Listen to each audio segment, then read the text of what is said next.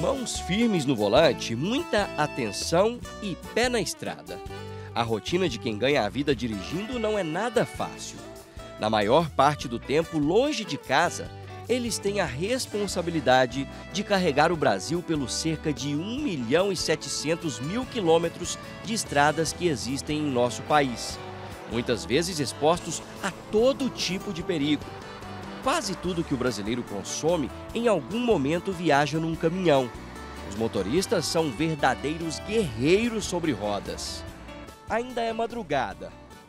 Os caminhoneiros já começam a se levantar para seguir viagem. Nós viemos em um posto aqui em Aparecida de Goiânia, onde eles usam para fazer parada.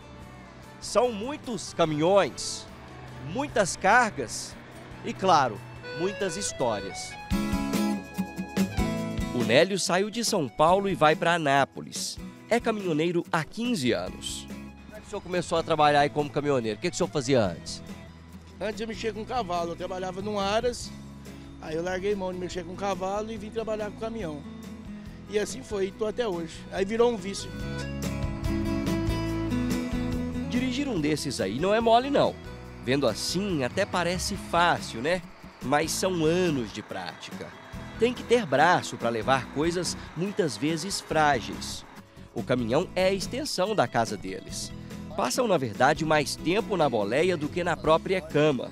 Aqui na, na boleia, a gente vê tá arrumadinho, ó. Inclusive tem tapete aqui, para não pisar e sujar, vários tapetes aqui espalhados.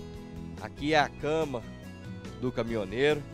Tudo bem arrumadinho porque o senhor metade dessa vida o senhor já viveu aí na estrada. É, com certeza. A maioria da, da, da, da vida da gente, a gente vive aqui dentro, né? Então, quer dizer, aqui é a nossa segunda casa, né? Então a gente tem que cuidar e preservar que, que aqui é o nosso ganha-pão também, né? Então a gente tem que cuidar bem, né? Hoje, por exemplo, o senhor está indo para onde? Salvador, Bahia. Daqui lá, quanto tempo mais ou menos? Quantos quilômetros rodados? 1.800, né? Nós saímos daqui agora, chega lá amanhã, uma hora da tarde. É preciso bem mais que uma habilitação para ser caminhoneiro. Cada carga tem um jeito de ser levada. E infelizmente, esses profissionais ainda não são valorizados como deveriam. Tem muito perigo, tem muito acidente, tem muito buraco.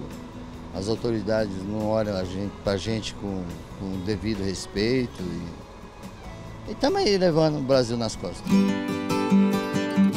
Ele viaja junto com o Lander. Eles revezam na direção. A cada cinco horas, um vai guiando. Hoje mesmo eles estão tendo que trocar o caminhão. O que estavam deu problema. Pra quem ganha a vida na estrada é assim, né? Tem que ter essa agilidade, deu um problema, já troca o caminhão. É, isso. Verdade é que a gente tem que fazer o serviço da gente, né? Porque pede, né? A gente tem que mais fazer, né? E nessas estradas aí não é brincadeira não, né? Não. É desse batidão aqui que você tá vendo aí, entendeu? E daí pra pior. Não parar não. Dias longe da família, a saudade aperta. Mas tem que trabalhar, né? No caso do Gilberto, a profissão passou de pai para filho. É gratificante a profissão? Gratificante. Estou nela há 20 anos, meu pai está há 37 anos. Gratificante. Faço com orgulho. Dia 25 de julho é o Dia do Motorista. Data para lembrar e agradecer quem se dedica a fazer o Brasil rodar.